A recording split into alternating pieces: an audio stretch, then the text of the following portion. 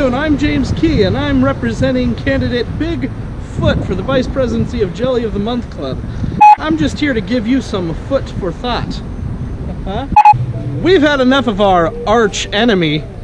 He is the fungus from among us, and he is ready to work for you.